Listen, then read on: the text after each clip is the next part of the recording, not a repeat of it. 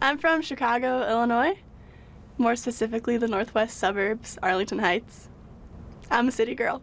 I'm studying anthropology and I'm supplementary majoring in Spanish. Well, my first semester, my freshman year, I took a social science seminar with Professor Carolyn Nordstrom and I had a blast in that class. She is just an awesome professor and she really made it fun and interesting and I learned a lot along the way too, so obviously that's good. Um, I like to draw sometimes. Sometimes I get a little crafty. I did some things this summer that are hanging up in my dorm room. I made this these two canvases where I put my favorite quote on it. I am only one, but still I am one. I cannot do everything, but still I can do something. And I will not let what I can do no, I will not let what I cannot do interfere with what I can do. I love my bread. Warm bread and butter. Yeah, like warm, crispy bread, you know? And then like butter on it. Yeah, don't tell the nutritionist. I'm not alone. I mean, my other teammates do too, so. I have a cat. His name is Stripes. You want to hear a story about him?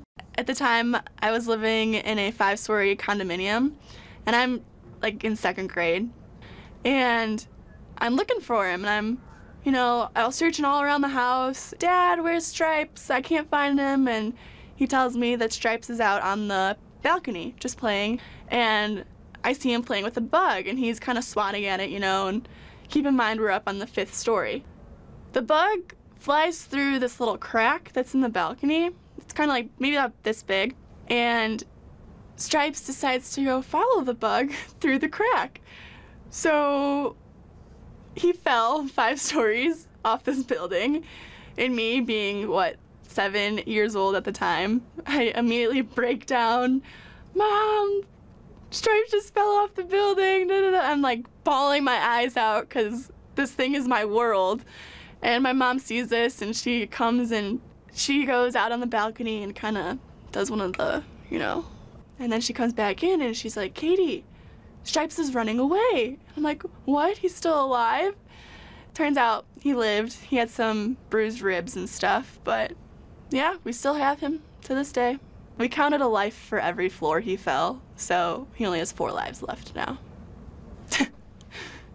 Katie Naughton, student, athlete, Irish.